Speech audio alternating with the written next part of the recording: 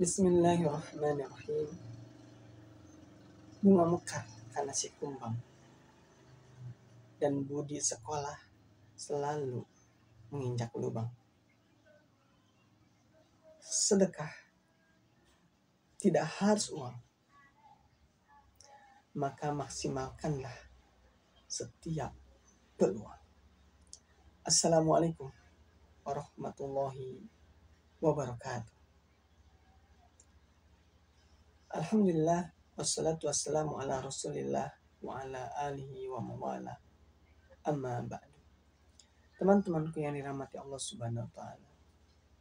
Abu Hurairah radhiyallahu anhu berkata Rasulullah sallallahu alaihi wasallam bersabda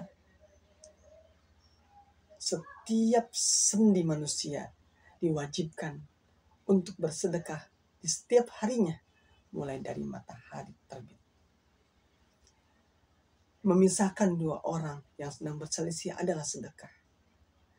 Menolong orang menaiki kendaraan atau mengangkat barang-barangnya ke atas kendaraannya juga termasuk sedekah. Berkata baik juga adalah sedekah. Dan setiap langkah berjalan untuk menunaikan sholat juga ada sedekah.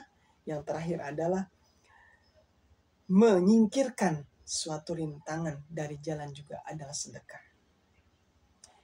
Hadis riwayat Bukhari dan Muslim. Teman-temanku yang dirahmati Allah Subhanahu wa taala.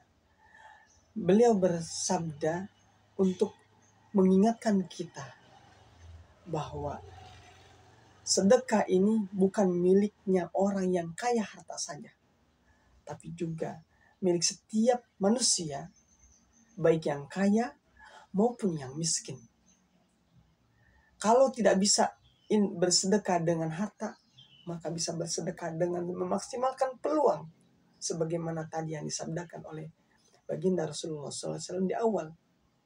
Dan semoga kita semua Allah berikan taufik hidayah dan kekuatan untuk bisa menghadirkan sedekah untuk setiap sendi diri kita sehingga kita termasuk hamba-hamba umatnya Rasul yang selalu bersedekah di setiap hari untuk bisa mengisi sendi-sendi kita dengan himbauan beliau.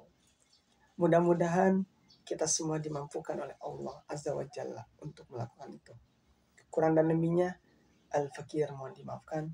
Wassalamualaikum warahmatullahi wabarakatuh.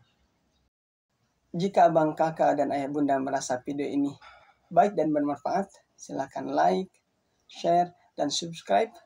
Namun jika ada kritik, saran, dan perbaikan, silahkan komen di bawah ini.